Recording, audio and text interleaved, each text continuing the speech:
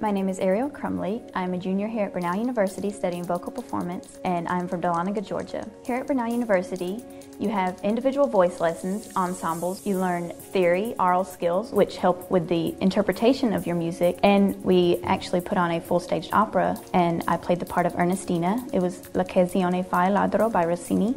Being able to participate in these, I've received a lot of uh, experience performing, which is going to help me when I get into the real world, when I start my career as a singer. Hello, I'm Dr. Barbara Steinhaus. I'm chair of the music department at Brenau University, and I've been teaching here about five years. Through the skills and discipline of music, you learn to anticipate and predict and understand other people a whole lot better. There are a number of ways that music can be applied in the broader world, and I would hope that each student that comes here can find exactly what it is within themselves that is going to find a place in the professional world.